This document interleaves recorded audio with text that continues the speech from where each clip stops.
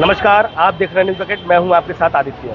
पिछले दो सप्ताह से पूरे देश भर में जुमे की नमाज़ को लेकर के काफ़ी प्रदर्शन, बवाल चल रहा है। उसको देखते हुए आज जुमे का दिन फ्राइडे का दिन है तो काशी में भी पुलिस प्रशासन अलर्ट मोड पे दिख रही है। हम आपको बता दें कि पैरामिलिट्री फोर्स के साथ साथ कमांडो भी ड्यूटी में लगाए गए हैं। सारी व्यवस्था चौक चमन कर ली गई है।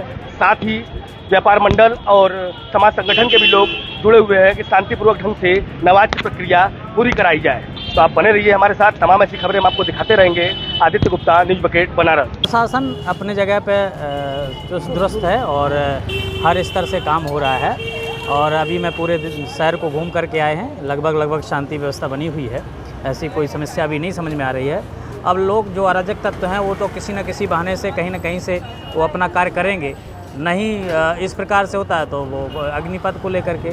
लेकिन लोगों को समझना चाहिए और मुझे लगता है कोई अगर चीज़ समस्या समझ में आ रही तो उसको बैठ करके समझना चाहिए, देखना चाहिए कि इसमें क्या घाटा है, क्या लाभ है और हर स्तर से कार्य करना चाहिए। तो ऐसी स्थिति में कहीं से कोई विवाद नहीं है। अभी शांति और प्रशासन अपने जगह पर बिल्कुल ड्यूटी में चुस्त है, ऐसी कोई संभावना नहीं है। कि बनारस की जो संस्कृति है बनारस का जो एक भाईचारा है वो शायद अभी तक कायम है। बिल्कुल सन, सन समाज ही नहीं पूरा भारत देश है और मुझे लगता है कि बेटी ने कुछ ऐसा कुछ कहा नहीं था।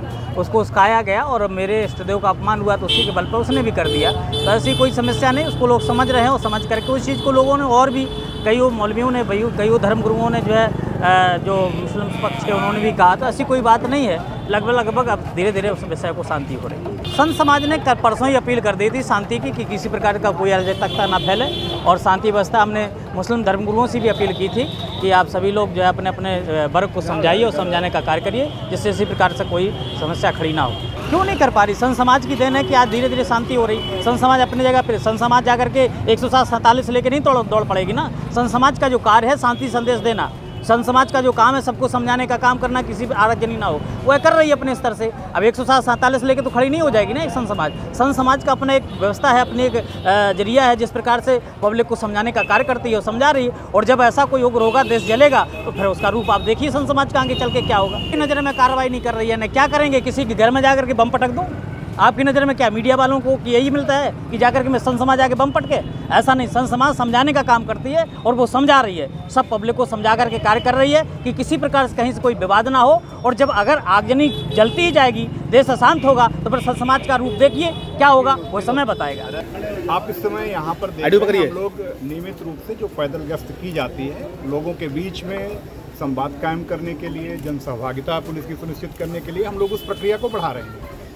जहाँ पर बाकी और कोई कार्रवाई के संबंध में प्रश्न पूछना है जहाँ पर जो बात हुई हो वहाँ पर आप पूछिएगा।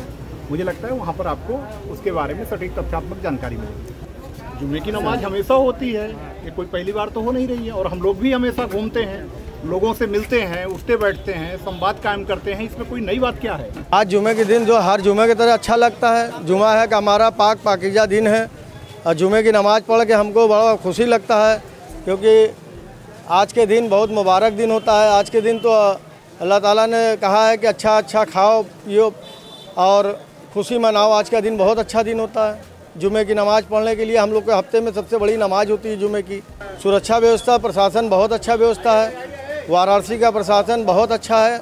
और वाराणसी का प्रशासन ने जिस तरीके से आ, हर क्षेत्र में हर इलाके मोहल्लों में धार्मिक गुरुओं से बात किया है। धार्मिक गुरु लोग ने आश्वासन दिया है और अपने आश्वासन पे वो खड़े उतरे हैं। वाराणसी का प्रशासन बहुत अच्छा है, प्रधानमंत्री का संसदीय क्षेत्र है, इसलिए यहाँ का व्यवस्था बहुत टाइट है। यहाँ की कमिश्नरी का व्यवस्था बहुत टाइट है, यहाँ के लोग अच्छे हैं। गंगा जमनी तहजीब का शहर बनारस हिंदू मुस्लिम में एकता है। पेश है न्यूज़ बकेट हिंदी मासिक पत्रिका पढ़े इस महीने की पूरी खबर विस्तार से हमारे न्यूज़ बकेट की मैगजीन में। हमारी ई मैगजीन को मुफ़्त में पढ़ने के लिए अभी लॉग इन करें www.newsbucket.in पर। इसके अलावा रोज की ताज़ा खबरों के लिए हमारे यूट्यूब चैनल को तुरंत सब्सक्राइब करें।